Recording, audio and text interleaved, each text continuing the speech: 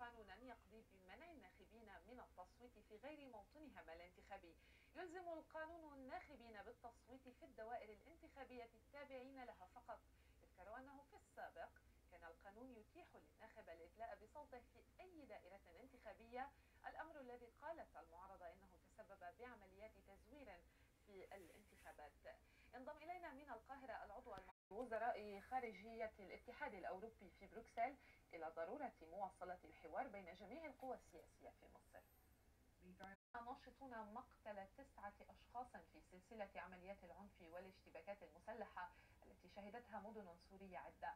في العاصمة دمشق سكاي نيوز عربية بمقتل نائب رئيس فرع الأمن السياسي في المخابرات أحمد برمادة في مدينة المكلف شرطي تونسي في مواجهات بين قوات الأمن ومسلحين على الحدود مع الجزائر.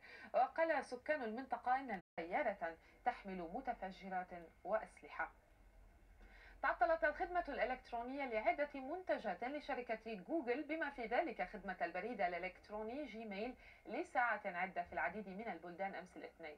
لم تحدد الشركة للمزيد من الأخبار يمكنكم دائما زيارة التطبيق الخاص بموقعنا على آيباد سكاي نيوز عربية ونتابع بعد قليل.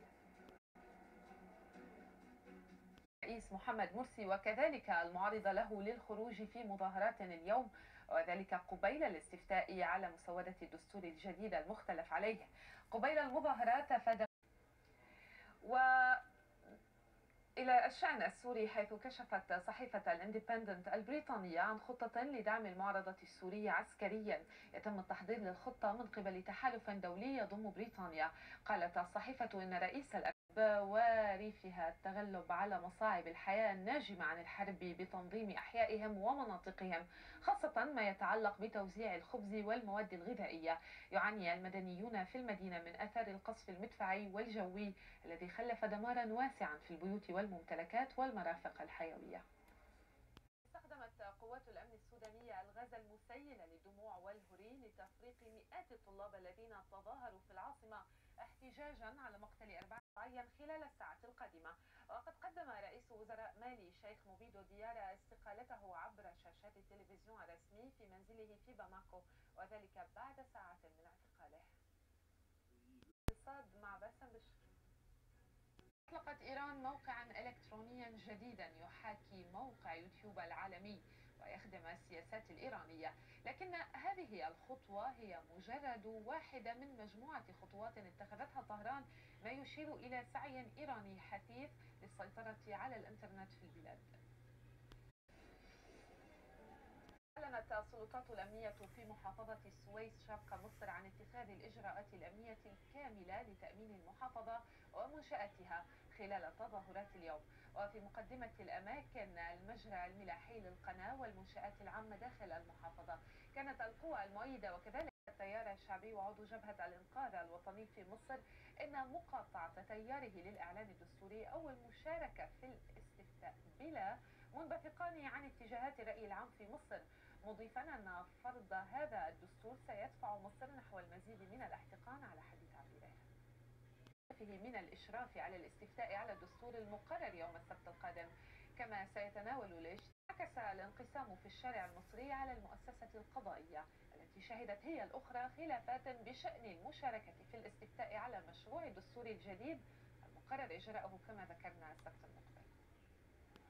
يلزم القانون أن إلى الشأن السوري لم يقدم الاتحاد الأوروبي على الاعتراف الكامل بالائتلاف الوطني السوري كما فعلت بريطانيا وفرنسا.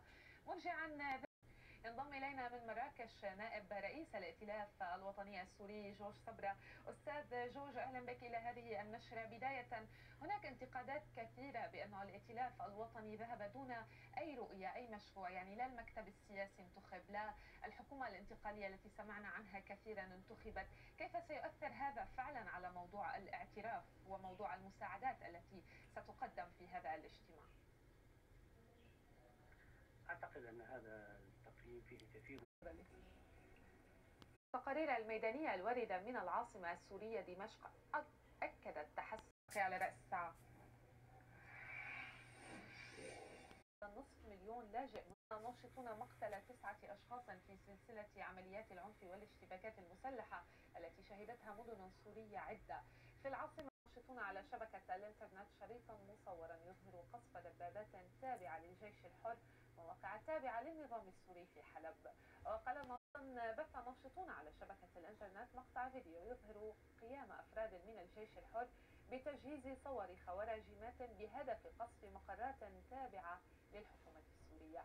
وذكر رئيس فرع الأمن السياسي في المخابرات أحمد بارمادة في مدينة المكلا بمحادثة على الإنترنت من قبل ناشطين مشاهد لما قالوا إنه استهداف مطار المزة العسكري في دمشق بعدة قذائف هاون من قبل لم يتسنى لنا التأكد من صحة الخبر من مصدر مستقل.